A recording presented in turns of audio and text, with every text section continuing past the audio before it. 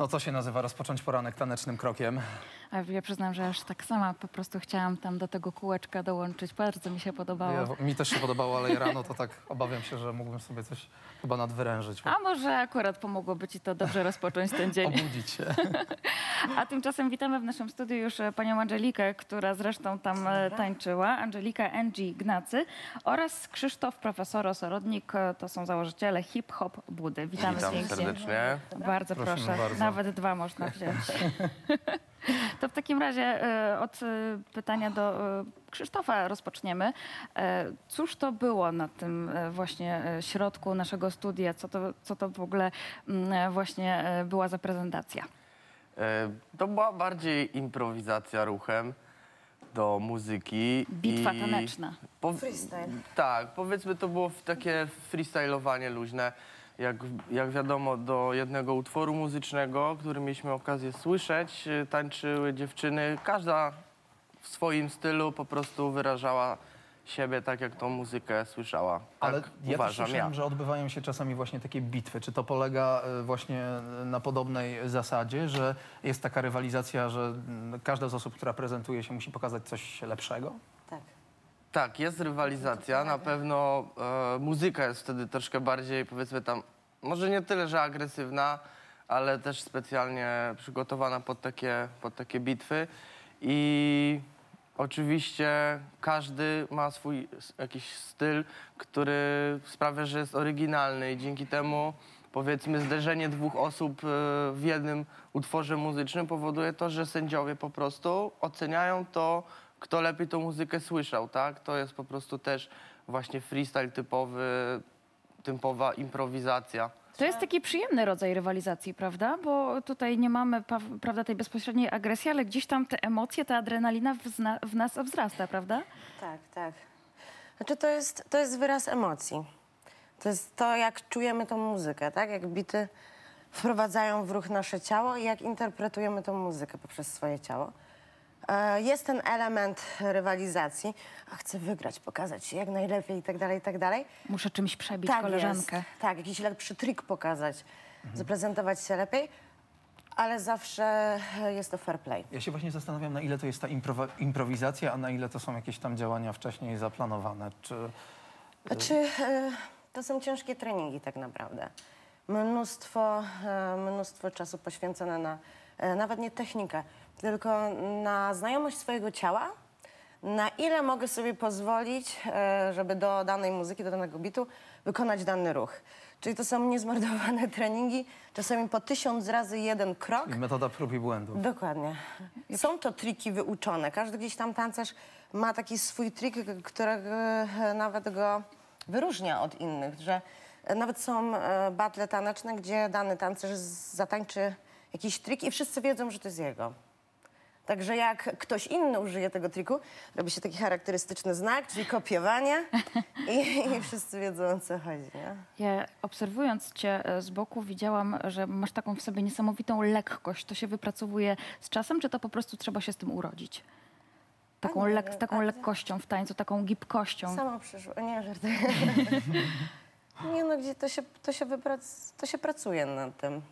Ja nie ukrywam, że e, hip-hop poprzez wiele e, lat e, ewaluował. Jeżeli chodzi o Polskę, to już w ogóle. E, jak ja zaczynałam tańczyć ten w cudzysłowie hip-hop, on wyglądał totalnie inaczej.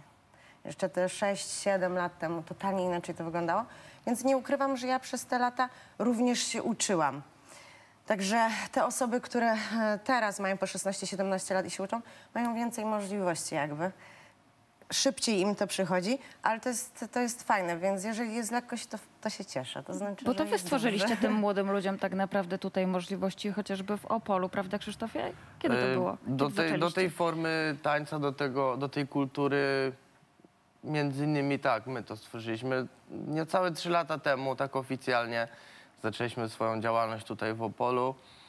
Był to, nas, był to nasz taki pomysł na życie połączony z pasją. Za, trochę zaryzykowaliśmy oczywiście, ale udało się i, i możemy realizować to co, to, co lubimy robić. Hip-hop to, jak było widać, e, luz, no i nazwa też taka luzacka. Hip-hop Buda, czyli w nawiązaniu do, do szkoły, Tak. rozumiem.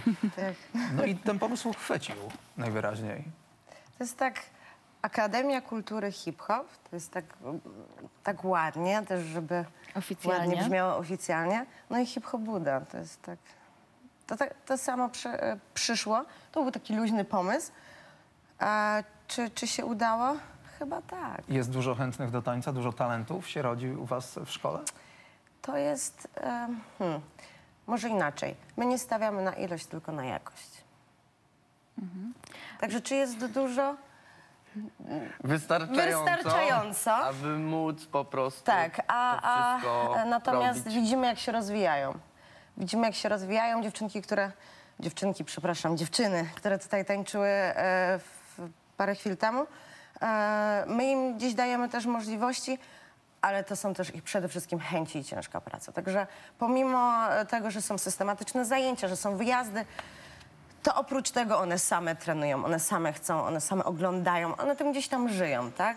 Więc to my dajemy ten taki zapalnik, ale dalej to już też zależy od, od danej osoby, bo e, wiele razy jest e, Bo tu tak, właśnie widzimy chce... występ dziewczyn. Tak, to jest, to jest wpilane na. Widać w tym tańcu, że tak jak pani mówiła, po prostu no, to jest ich życie. Gdyby, gdyby to ich aż tak nie pochłaniało, no to chyba tak by to nie wyglądało. Znaczy, one też tak w cudzysłowie mnie ciągną. Motorem, Jak tak? człowiek, tak, jak człowiek już osiąga pewien gdzieś tam wiek w cudzysłowie, myśli też o innych e, rzeczach, tak? Dorosłe życie i tak dalej, i tak dalej. E, i- nie zawsze ma czas. Ale one, one na przykład tym występem i a, na rytmie ulicy zajęły czwarte miejsce w swojej kategorii. To jest bardzo duże osiągnięcie. E, Największy to był turniej turniej, właśnie. tak, więc, więc gdzieś tam dają mi motywację i Długo ćwiczyliście przed tym występem właśnie? no kilka dobrych miesięcy. Żeby to tak wszystko grało jak w Tak. zegarku. Tak, tak, tak.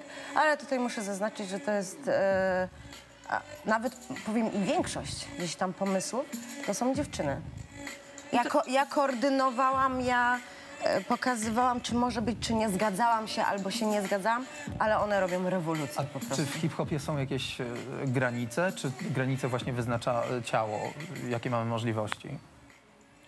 E, Jeżeli chodzi, rozumiem, o taniec, prawda? Tak. E, No, na moje oko to cały czas ewoluuje, każdy coś dodaje od siebie i chyba nie ma tych granic. Oczywiście samo ciało chyba tylko je wyznacza, ale chyba też dużo daje po prostu kreatywność i pomysły i, i, i- nowe spojrzenie na to, stworzenie czegoś, powiedzmy, co, czego ludzie jeszcze nie widzieli. I to jest wtedy o tyle ciekawe, że Tę kreatywność i tę tak. pomysłowość będziemy mogli zobaczyć e, jutro e, w Opolu, to znaczy wszyscy Opolanie będą Czy mogli zobaczyć, ale nie tylko Bo wszyscy ja ci, którzy miałem przyjadą. A, w właśnie. Kalif- właśnie, jutro Polska Kalifornia. Dlaczego Kalifornia? Dokładnie dlatego, że pierwszy raz rok temu zorganizowaliśmy tego typu e, formę bitew tanecznych w Opolu i było bardzo ciepło. Było 26 bądź 27 stopni, nie pamiętam. W każdym razie wszyscy w mieście chodzili w koszulkach i w krótkich spodenkach, jak w Kalifornii, e, gdzie oczywiście mamy dopiero kwiecień. Wszyscy się opaliliśmy i stąd stwierdziliśmy, że będziemy kontynuować tą nazwę. Miejmy nadzieję, że jutro jednak to słońce zaświeci nam i, i również będziemy mogli do tego właśnie, do tej nazwy nawiązywać. To będzie druga edycja. Ilu Tak. tancerzy zgłosiło się do występu? A ponad 100 osób z, no, z całej Polski, można powiedzieć. na I nie dzień tylko też. I nie tylko też z Polski, z zagranicy z Czech też. się zgłosili. Czy to jest tak, że jeśli ktoś chce, może przyjść, popatrzeć? Jeśli tak, Oczywiście. to gdzie, o której godzinie? Jak... Tak, impreza jest otwarta.